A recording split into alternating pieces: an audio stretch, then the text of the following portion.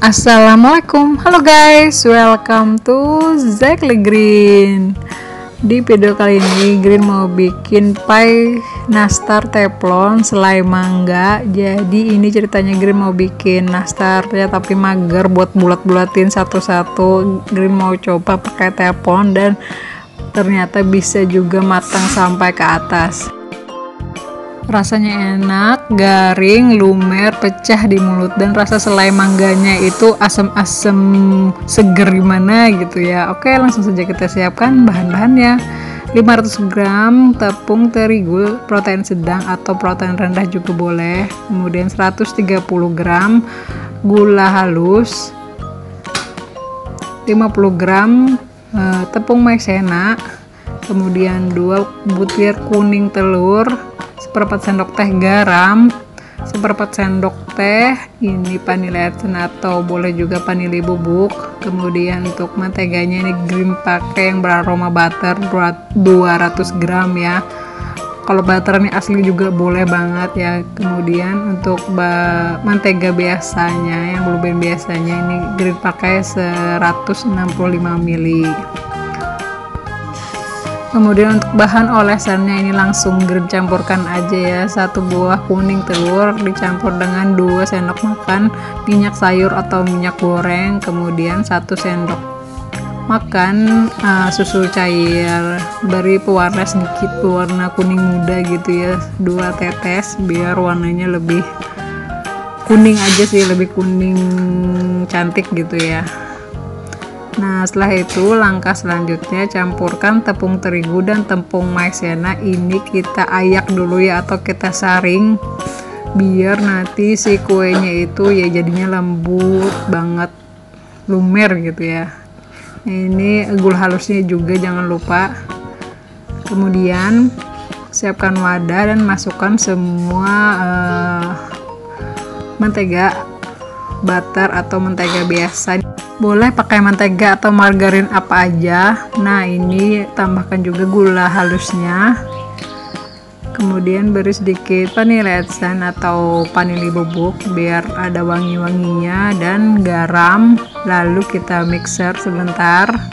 Sebenarnya kalau teman-teman pakai Wix juga bisa banget ya. Ini biar lebih praktis aja. Jadi green uh, pakai mixer sebentar sih seperti ini ya sampai tercampur merata aja kemudian masukkan 2 butir kuning telurnya. Aduk lagi sebentar sampai tercampur merata. Nah hasilnya itu jadinya seperti ini. Ini tuh jadinya super lembut banget tuh ya kan? Kelihatannya teman ini lembut banget. Jadi kita makan adonannya itu nanti pecah lumer gitu Nah, setelah seperti ini, masukkan bahan keringnya ini tepung terigu sama tepung maizenanya tadi ya. Masukkan perlahan sedikit demi sedikit sampai adonannya habis. Dan jadilah seperti ini. Sudah padat, bisa dibentuk berarti udah cukup ya. Ini walaupun padat tapi dia tetap lembut banget langkah selanjutnya siapkan teflon ini. Green pakai teflonnya yang ukuran sedang nggak terlalu besar nggak terlalu kecil juga ya nggak terlalu tinggi juga sedang aja lah ya.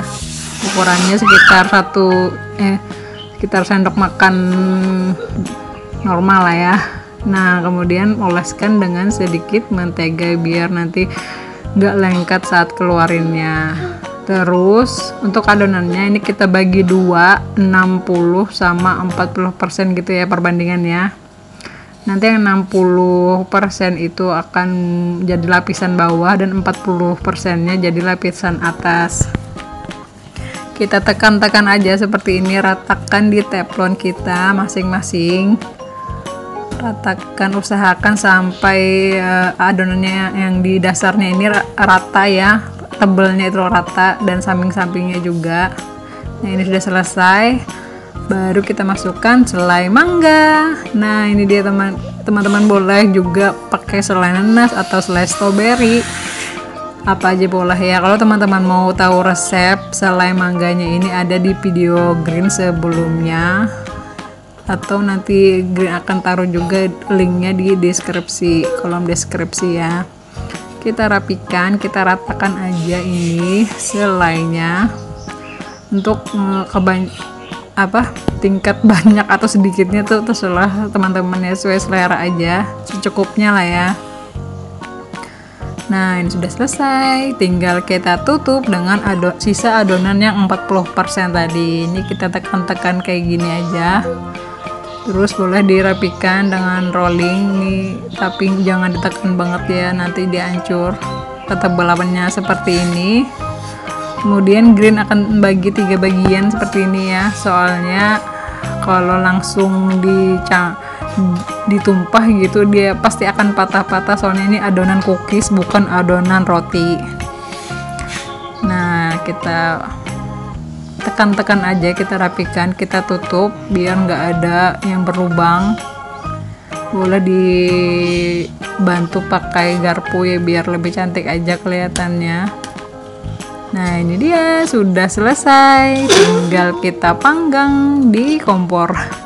Jangan lupa ini kita beri tatakan dulu ya tatakan dari apa aja boleh yang nggak kepake lagi gitu biar apinya yang di tengah ini menyebar ke seluruh uh, loyangnya. Jadi nggak gosong di tengah aja. Dan pakai tutup yang dari stainless gini juga ya biar atas panasnya tuh atas bawah juga. Kita diamkan dulu selama 5 menit. Setelah 5 menit kita kecilkan lagi apinya super duper kecil ya teman. Baru letakkan kuenya. Dan masak selama 30 menit kalau teman-teman nggak punya tutup panci pakai cetakan alas kayak gini juga bisa ya loyang-loyang kayak gini Nah, sambil menunggu painya matang, Green mau ngenalin ke teman-teman semuanya salah satu aplikasi yang benar-benar bisa membantu banget teman-teman dalam berjualan.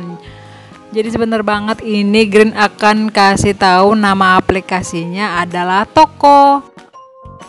Jadi kita akan pergi ke Play Store kemudian kita install. Nah, ini cara login atau cara pembuatan toko ini cepet banget kurang lebih cuma 15 detik dan ini terbukti nyata cuma 15 detik toko kita udah jadi secara online. Nah, teman-teman bisa lihat sendiri yang sudah download itu lebih dari 500.000 pengguna Wow banget ya, ini dijamin udah aman terpercaya. Nah, setelah kita download, langsung kita ditujukan ke nomor WhatsApp kita. Kemudian setelah kita masukkan nomor WhatsApp, dia akan mengirimkan kode OTP.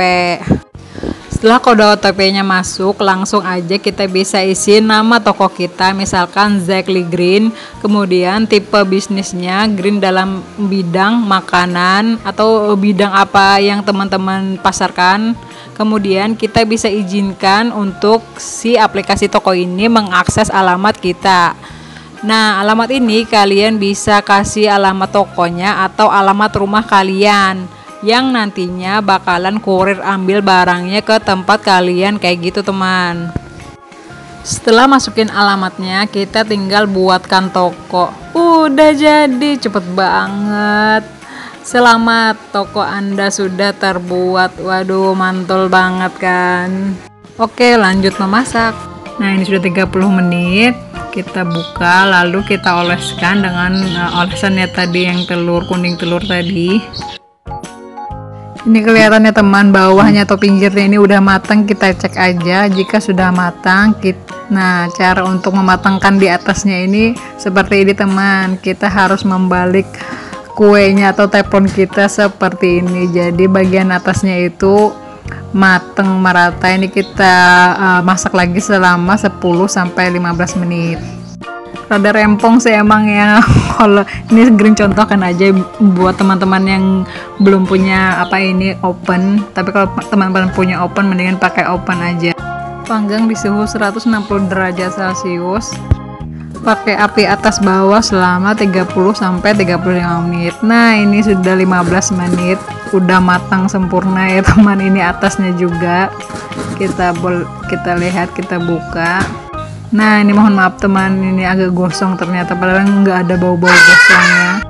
Tadi green kelamaan sekitar 45 menit masak bagian bawahnya. jadi saran teman-teman nah 30 menit tuh udah dicek ya tingkat kematangan bawahnya. Jika udah matang kita balik aja langsung. Oke kita lihat dalamnya kayak apa. Tuh dalamnya kayak gini ya teman pokoknya ini tuh rasa nastar banget gitu. Dan matang sampai ke bagian atasnya tuh. Ini bisa banget jadi ide jualan teman-teman ya. Tada, ini dia pie nastar teflon selai mangga ala Zelly Green. Sudah jadi, sudah untuk dinikmati. Wow, begini ya teman penampakannya. Ini tuh bisa banget jadi ide jualan teman-teman, tapi kalau untuk jualan disarankan pakai open aja ya biar uh, matangnya tuh lebih rapi dan merata. Selamat makan, nyam. Hmm rasanya nastar banget teman tapi untuk selainnya itu kayak rasa kenceng banget rasanya gitu asam-asam seger gitulah ya Nah, tadi kan Green ada share aplikasi toko yang membantu memudahkan bisnis online kita. Nah, untuk memasukkan data jualan kita caranya sangat mudah sekali. Teman-teman tinggal masuk ke aplikasi toko yang udah kita download dan kita daftar tadi, lalu tinggal masukkan saja foto. Klik tambah produk. Kemudian kita akan diarahkan seperti ini. Lalu klik foto pilih dari galeri kita. Nah ya pilih foto yang udah kita siapkan sebelumnya tadi. Nah ini green masukkan kue pie tadi ya ini bisa diubah-ubah juga ya diperkecil dan diperbesar tinggal centang aja. Kemudian masukkan nama produk kategori dan harga. Lalu deskripsi selengkap mungkinnya agar nanti customer kita itu nggak banyak tanya lagi karena deskripsinya udah lengkap banget. Tinggal tambah produk. Udah deh kesimpan jualan kita kemudian kita share aja ke sosial media kita. Nih contohkan ke WhatsApp ya. Tinggal kita klik yang mana yang mau dikirim atau bisa klik semuanya ya.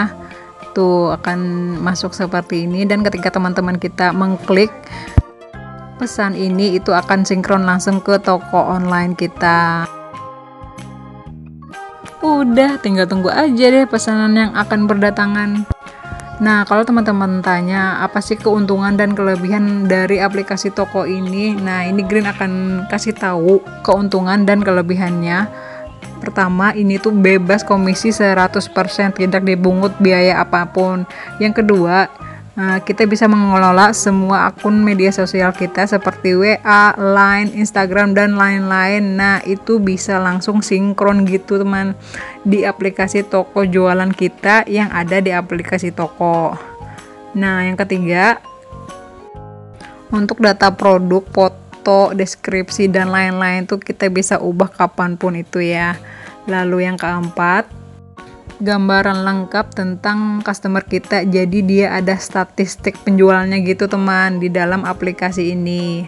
Lalu yang kelima kita bisa mendapatkan dan meningkatkan penjualan kita. Jadi itu dia teman kelebihan dan keuntungan aplikasi toko ini. Pokoknya dia tuh membantu memudahkan bisnis online kita banget jadi tunggu apa lagi langsung aja teman-teman pergi ke Play Store dan download aplikasi toko dan buat bisnismu secara kekinian dengan hanya menggunakan aplikasi toko yang singkat banget cuma 15 detik. Jangan lupa download aplikasi toko ya dan jangan lupa juga klik like dan subscribe. Jangan lupa juga klik tombol loncengnya karena akan ada rasa praktis enak selanjutnya. Sekian terima kasih, selamat mencoba.